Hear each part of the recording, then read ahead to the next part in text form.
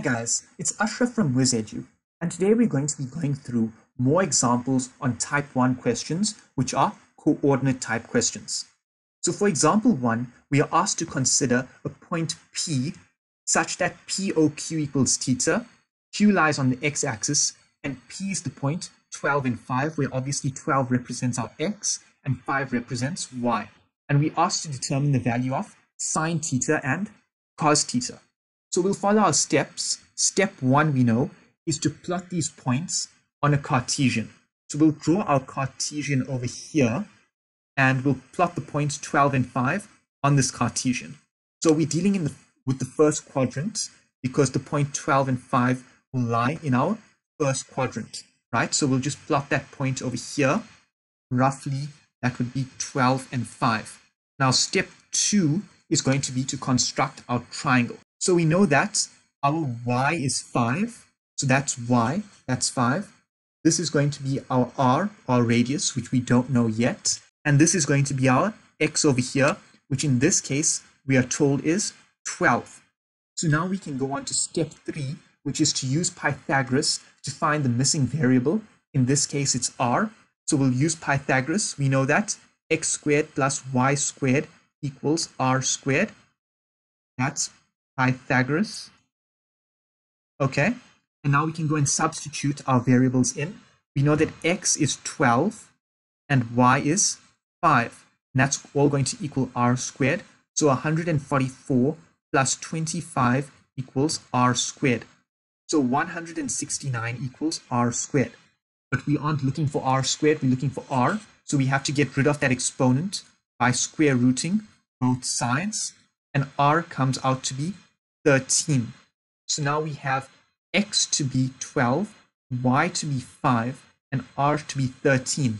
So we can use these to substitute them into our uh, trig functions, which are sine and cos. And just remember that this angle here is our theta. So if that's our triangle and that's theta, sine theta equals y over r, or if you want to visualize it graphically in this case, o over h because 5 in this case is our y value and it's also o. So sine theta will equal to 5 over, and we found r to be 13, and in that in this case it's also our hypotenuse. So sine theta would be 5 over 13, right? And then for our next bit, we are asked to find the value of cos theta. Now we know the definition of cos is x over r or a over h. Now, we know that x in this case is 12 and r is 13. So we found cos theta to be 12 over 13. And if you look at the triangle over here, 12 is in fact our adjacent adjacent to theta, so it is a, and 13 is our hypotenuse r. So you can either use x over r or a over h. Just in coordinate type questions, I prefer to use x over r because it makes so much more sense since we found x, y, and r. So for example 2, we are given a diagram and we are asked to find the value of cot theta as well as sine theta plus cos theta. Now this is a coordinate type question because we are given a coordinate over here. But what we don't have to do is step 1 because the coordinates already been plotted on a Cartesian for us. So we can just go ahead and construct our triangle over here. That's our triangle there. And now we know that our y value is 8 and our x value is negative 6. So we'll go ahead and do step 3, which is to use Pythagoras to find our missing um, variable, which in this case is r. So we'll say x squared plus y squared equals r squared. Our reason is Pythagoras, because remember that this is a right angle triangle. So our x in this case is minus 6, our y is 8, and r is unknown. So 6 squared is 36, 8 squared is 64, and that gives us r squared. So now we know that 100 equals r squared, and we can square root both sides to get rid of that exponent. And we have r is equal to 10. So we know this purple line over here is equal to 10, and we have our angle theta over here. Now it's just important to note that whilst theta isn't inside the triangle, you can treat it as such. So you can treat the triangle as if theta was there because of our supplementary reduction formula, because theta inside the triangle is 180 minus this bit here. So the grade 11 and 12 learners, you know what I'm talking about. You know that you can put theta in the triangle there. So now we know that x is negative 6, y is 8, and r is 10. So we can use these to go on to step 4, which is to solve the question by inserting these in our trig ratios. So we know that cot theta is equal to x over y. So we can just substitute x as negative 6 and y as 8, and we've solved cot theta. So cot theta is negative 6 over 8. And our next question asks us to find the value of sine theta plus cos theta. So for sine theta, our ratio is y over r, and for cos theta, our ratio is x over r. So we can just substitute into there. That becomes 8 over 10 plus negative 6 over 10. So it's 8 minus 6, which is 2 over 10. Our denominator is the same, so we can just um, add, or in this case, subtract that. And that simplifies to being 1 over 5. So our final answer there is going to be 1 over 5. So for our third example, we are told to consider the point t minus 1 and minus 2. So we can already see these are x and y's. And we are told that beta is the angle from the positive x-axis to t. And we asked to find the value of various trig ratios. So our first step is to be to going to plot our point on a set of axes.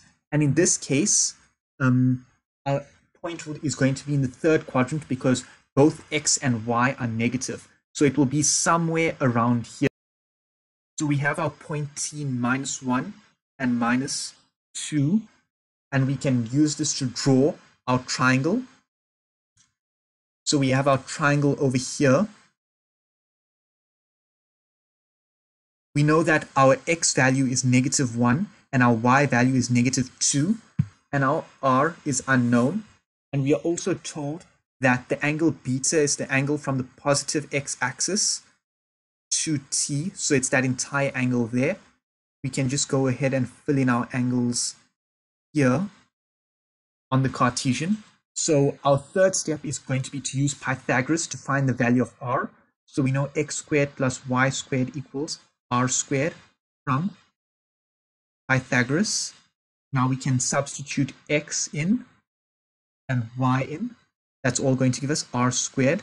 So 1 plus 4 equals r squared. Now r squared is going to be equal to 5 and we can square root both sides. So r becomes root 5. So we found x to be negative 1, y is negative 2 and r is root 5. So we can use this to solve the question and find the value of cosec theta, right? So the, the definition of cosec is r over y. So cosec beta will be equal to r over y, which in this case would be root 5 over negative 2. And our next question asks us to solve the value of sine beta over cos beta. Now from the outset, um, we know that sine of an angle over cos of the same angle is going to equal to tan of that angle. So we should expect sine beta over cos beta to give us tan beta. So let's go ahead and just prove that. So we can say that sine beta over cos beta is going to be y over r all over x over r. Okay, and we can substitute in our values for y and x and r, which is in this case negative 2 over root 5 all over negative 1 over root 5. And that, if you simplify it, is going to become negative 2 over negative 1, which is 2 over 1, which is 2. And if you solved for tan beta, which is y over x, you'd immediately substitute negative 2 over negative 1, which would give you the same answer of 2. So we can see that sine over cos of the same angle is equal to tan of that angle. So that's the solution to example 3 cosec beta equals root 5 over negative 2 and sine beta over cos beta equals 2, or in this case, that would also be tan beta. Thanks for watching, guys.